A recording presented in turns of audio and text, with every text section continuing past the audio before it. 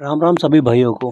भाइयों, आजकल काफ़ी पत्रकार, काफ़ी चित्रकार, काफ़ी इतिहासकार बोलते आ रहे हैं कि गुर्जर एक विदेशी जाति है, विदेशी कौम है, ये विदेश से आए थे। दोस्तों इसका क्या स्रोत है, आज हम बात करते हैं कि गुर्जर कौन थे और कहाँ से आए थे। भारत में एक भयंकर षड्यंत्र के अंतर्गत लेखकों का एक ऐसा वर्ग सक्रिय रहा है जो भारत की अनेकों जातियों को विदेशी सिद्ध करने का प्रयास करता रहा है।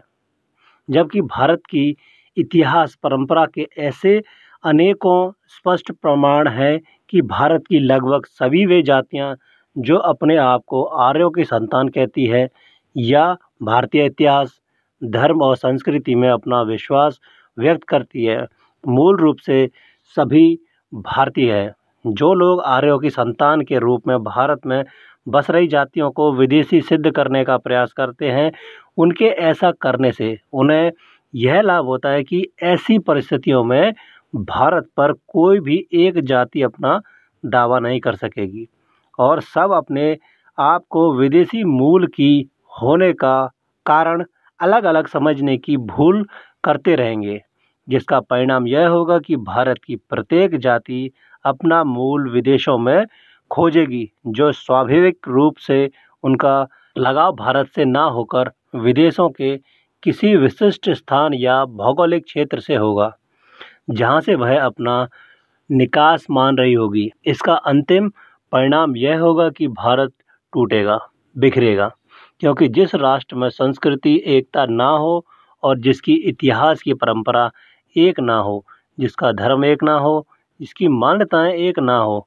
उसमें बिखराव आता ही आता है, इसे कोई नहीं रोकता, क्योंकि जहाँ बिखराव टूटता आती है, वहाँ टूटना ही टूटना है भारत को। भारत के लोगों की और विशेष रूप से भारत में निवास कर रही जातियों की इन सारी चीज़ों को अलग अलग सिद्ध करके उद्देश्य से भारत की जातियों को विश्व के अन्य भौगोलिक क्षेत्रों में आई हुई दिखाने का षड्यंत्र किया जाता है।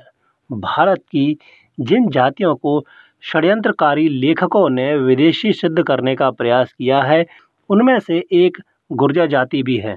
गुर्जर जाति भारत की बहुत प्राचीन जाति है। उसने भारत के सांस्कृतिक राष्ट्रवाद को मज़बूत करने में तो महत्वपूर्ण योगदान दिया ही है। साथ ही इस जाति के शासकों ने दीर्घकाल तक शासन करके विदेशी मुस्लिम हमलावरों को भारत में प्रवेश करने से रोके रखने का प्रशंसनीय और देशभक्तिपूर्ण कार्य भी किया है। ये बहुत कम लोगों को पता होगा। यदि यह जाति विदेशी होती तो विदेशी हमलावरों को माँ भारती पर हमला करने से रोकने का प्रशंसनीय कार्य ना करती और उनको भारत में आने देती।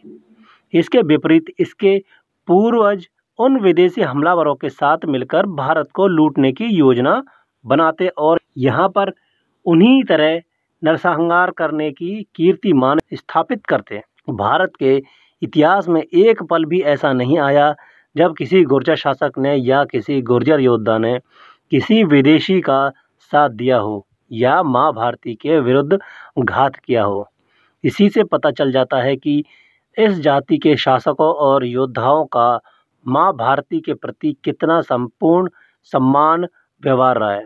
और यदि वह ऐसा कर रहे थे तो इसका एक ही कारण था कि वह अपने आप को इसके मूल से जुड़ा हुआ अनुभव करते थे। इससे पहले कि हम गुर्जरों के विदेशी या भारतीय होने पर प्रकाश डालें, हम चाहेंगे कि पहले भारत के प्राचीन इतिहास की उस परंपरा पर थोड़ा प्रकाश डाला जाए, जो हम सबको एक ही मूल का सिद्ध करने के लिए बहुत प्रमाणिक है। इसके लिए भारत के प्राचीन साहित्य की पड़ताल करना आवश्यक है। इतिहास की अनेकों घटनाओं का उल्लेख पुराणों में मिलता है। पुराण वास्तव में इतिहास की ही पुस्तकें हैं, जो पौराणिक काल के इतिहास इतिहास व्रत को सुरक्षित रखने के लिए लिखी गई। शतायु पुराण के अनुसार धरती के सात द्वीपों का हमें पता चलता है, जिसके नाम जम्बू पलक्ष, शालमली, कुश, क्रोच, शाक एवं पुष्कर थे, जिनमें से जम्बू द्वीप सभी के मध्य स्थित है। इस जम्बू द्वीप को विद्वानों ने आज के यूरोप और एशिया से मिलकर बनाया हुआ माना है। पुराणों की उपरोक्त साक्षी से यह स्पष्ट कि संपूर्ण भूमंडल के सातों द्वीपों पर आर्यों का ही शासन था और आर्य संपूर्ण भूमंडल के प्रत्येक क्षेत्र से परिचित थे। पुराणों की साक्षी से यह भी सिद्ध होता है कि पहले संपूर्ण आर्य सिद्ध हिंदू जाति जम्बू द्वीप पर शासन करते थे। स्पष्ट है कि यूरोप और एशिया से जितने भर भी देश आज हमें विश्व मानचित्र पर दिखाई देते हैं, वे सब के सब प्राचीन काल में वैदिक धर्मी आर्यों और कालांतर में उनके स्थान पर हिंदू के नाम से पुकारे गए। हमारे पूर्वजों की ही संतानों के देश हैं। इन जम्बू द्वीपों की भी नौ खंड थे। इलाव्रत भद्राश्व, किमपुरुष, भरत, हरि, केतुमाल, रम्यक, कुरु और हिरेमय। इन नौ खंडों में से भारत नाम के खंड को भारत खंड का भारतवर्ष के नाम से जाना गया। इस भारत का उसवे पूर्व का नाम अजनाव था। इस भरत खंड के भी नौ खंड थे। इंद्रद्वीप, कसेरु, ताम्रपर्ण, गविस्तमान, नागद्वीप, सौम्य, गंधर्व और वारुण तथा यह समुद्र से घिरा हुआ द्वीप उनमें नौवा है। यह भारतवर्ष अफ़गानिस्तान के हिंदू कुश वर्तमाला से अरुणाचल की पर्वतमाला और कश्मीर की हिमालय की चोटी से कन्याकुमारी तक फैला हुआ था। दूसरी ओर यह हिंदू कुश से अरब सागर तक और अरुणाचल से वर्मा तक फैला था। इसका अर्थ हुआ कि उस समय के भारत खंड के अंतर्गत आज के अफ़गानिस्तान, बांग्लादेश, नेपाल, भूटान, वर्मा, श्रीलंका, थाईलैंड, इंडोनेशिया और मलेशिया आदि देश आते हैं। इस भारत खंड के कुछ पांचाल, पुंड, कालिंग, मगध, दक्षिणात्य अप्रांत देशवासी सौराष्ट्रगण, तहाशूर, आभीर, अर्बुदगण कारुष मालव, पार्यात्र, सौवीर, संधव, हूण, शालव, कौशल, मद्र, आराम अम्बष्ट और पारसी गण आदि रहते हैं। इनके पूर्व भाग में किराट और पश्चिम भाग में यवन बसे हुए थे। वायु पुराण के अनुसार त्रेता युग के हज़ारों वर्ष पूर्व प्रथम मनु, वायुभूप मनु के पौत्र और प्रियव्रत के पुत्र ने इस भारतवर्ष को बसाया था। वायु पुराण के अनुसार महाभारत प्रियव्रत को कोई अपना पुत्र नहीं था। ऐसे में उन्होंने अपनी पुत्री के पुत्र अग्निंद्र को गोद ले लिया, जिसका लड़का नाभि था। नाभि की एक पत्नी मेरुदेव से जो पुत्र उत्पन्न हुआ, उसका नाम ऋषभ था। इसी ऋषभ के पुत्र भरत ने तथा इन्हीं भरत के नाम पर इस देश का नाम भारतवर्ष पड़ा। प्राचीन में जम्बू द्वीप एकमात्र ऐसा द्वीप था जहाँ रहने के लिए उचित वातावरण था और उसमें भी भारतवर्ष की जलवायु सबसे उत्तम थी। यहीं व्यवस्था नदी के पास स्वयंभू मनु और उनकी पत्नी शत्रुपा निवास करते थे। राजा प्रियव्रत ने अपनी पुत्री के दस पुत्रों में से सात को संपूर्ण धरती के सात महाद्वीपों का राजा बना दिया था और अग्निंद्र को जम्बूद्वीप का राजा बना दिया था। इस प्रकार राजा भरत ने जो क्षेत्र अपने पुत्र सुमित को दिया, वह भारतवर्ष कहलाया।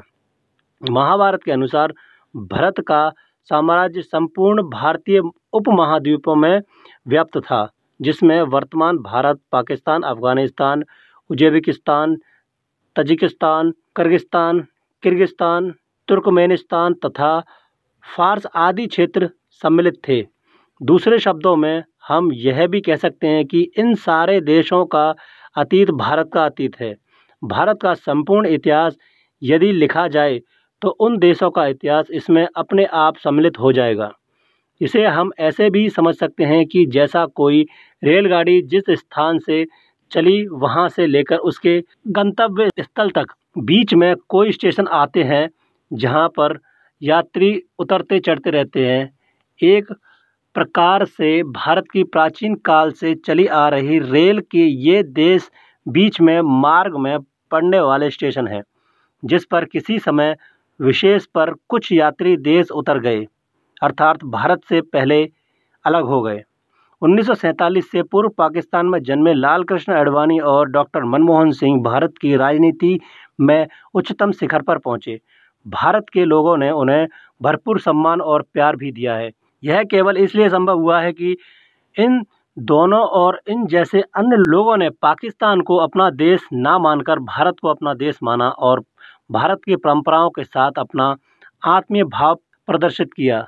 फलस्वरूप यह विदेशी नहीं माने जा सकते।